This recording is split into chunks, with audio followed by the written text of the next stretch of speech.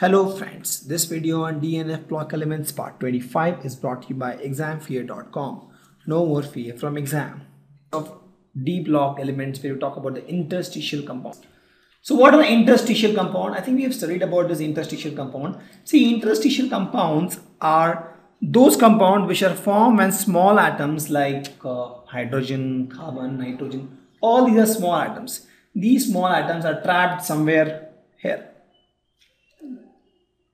so if you see small atoms here, for example, this places, these are all small atoms. Sometimes they are trapped. This is the NaCl crystal. I mean, it can be any crystal.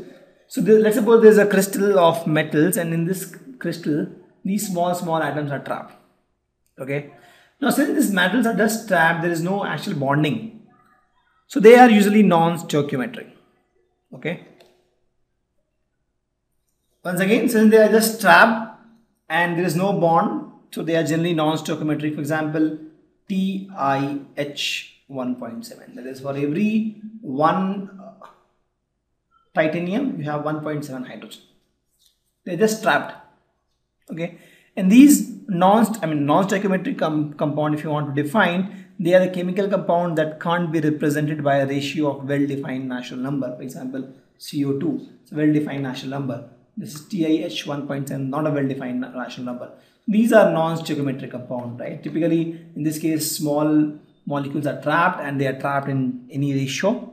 Uh, they are not, they don't have a proper bond, okay? But they have different properties. This interstitial compound, they have high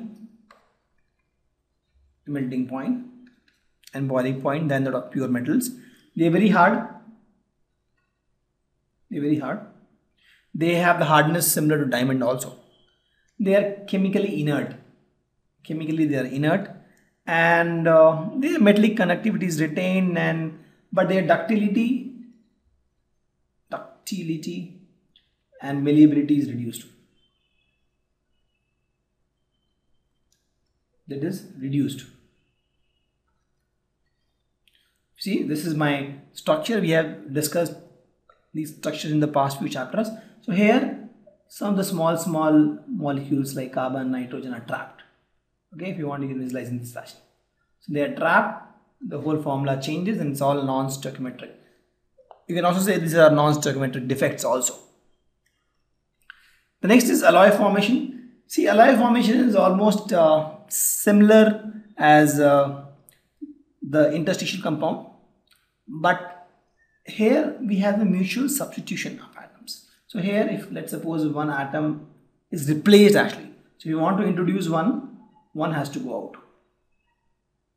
Okay.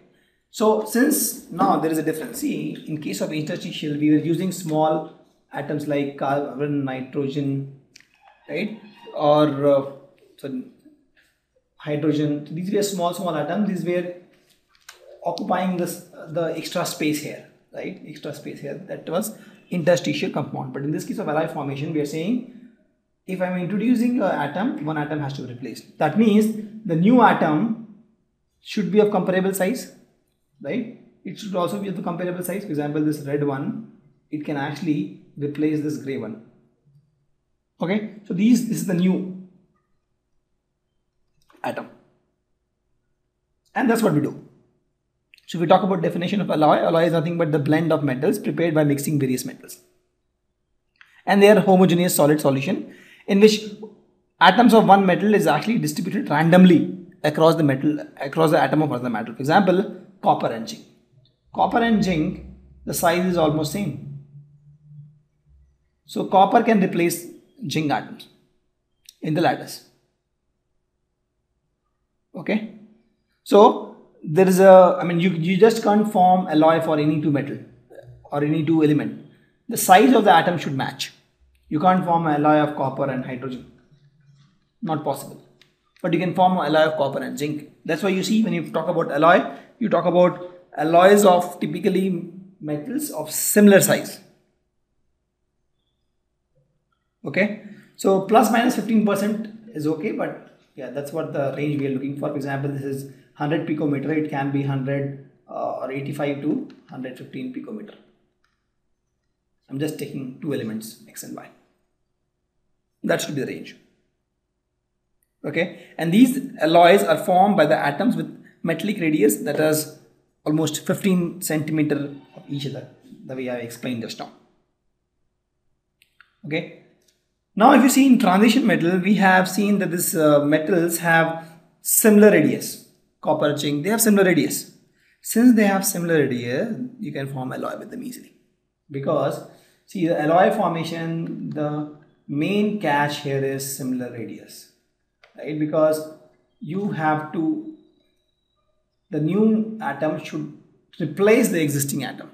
So it should fit because there is already lattice here, right? So if you want to uh, remove this red ball with one more ball here. So this ball should actually fit in this place, right? So this ball should be plus minus 15% of this ball, correct? And this feature is there in transition metal. Most of the metals, they have almost similar atomic size. Since they have similar atomic size, they are fit to form alloy by mutual substitution. For example, brass. Brass is made from copper and zinc. Bronze. Bronze is made from copper and tin and these alloys have different property altogether. And they have huge industry application. We have seen the brass and bronze has been quietly used in the industries because they have different properties. So now with this let's do a quick recap thank you. Visit examfear.com to watch more videos attempt free online tests get free study materials find tutors and mentors and much more. Thanks once again